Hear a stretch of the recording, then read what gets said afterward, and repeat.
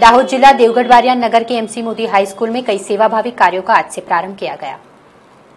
दाहोद जिला के देवगढ़ बारिया नगर में रक्तदान शिविर कैंसर ग्रस्तों का मुफ़्त में इलाज के लिए कैंप समेत सबवाहिनी का लोकार्पण और बहनों के लिए सिलाई काम के क्लासेस का भी आयोजन किया गया था।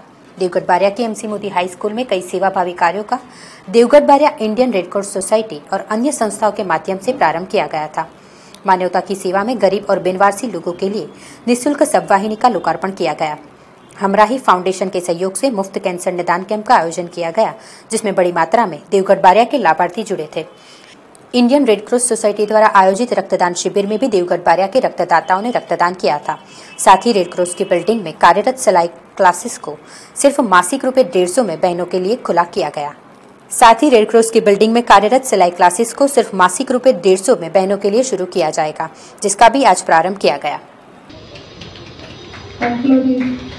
डॉक्टर। विशेष कैंसर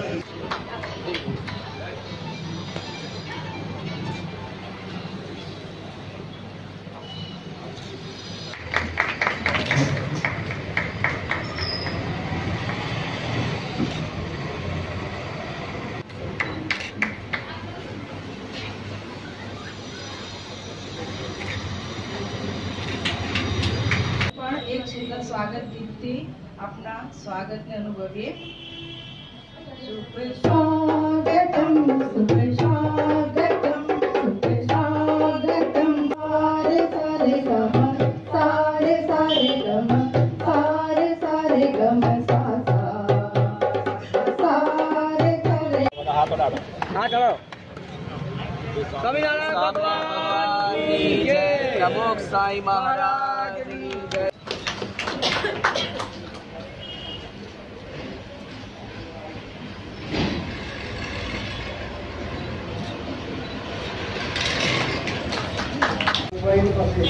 અત્રે Devgadh Baria Indian red cross society લોકવાહી સબવાહિની લોકાર્પણ કરી રહી છે અને જેમ કે આપ સૌએ જોયું કે ગવર્નરશ્રીના હસ્તે તેમને હાઈએસ્ટ ડોનેશન કલેક્ટ કરવાનો પણ એવોર્ડ મળ્યો છે। ખૂબ જ પ્રાઉડની વાત છે કે Devgadh Baria Indian red cross society આટલું સુંદર કાર્ય કરી રહી છે। અહીંયા આજુબાજુના ગામડાના ગરીબો અને જરૂરિયાતવાળા પેશન્ટને ખૂબ જ સારા પ્રમાણમાં મદદ મળી રહી છે અને રાહત દરે અન- અવારનવાર કેમ્પ થતા રહે છે. બહુ પ્રાઉડની વાત છે અને ખૂબ સારું લાગે છે અહીંયા આવીને અને અમે હમરાહી ફાઉન્ડેશન અમદાવાદ તરફથી એમને શક્ય એટલો સપોર્ટ કરવાનો ટ્રાય કરે છે અને અમારા માટે એ ખરેખર ખુશીની વાત છે કે અમે એનો એક ભાગ બની શકીએ છીએ.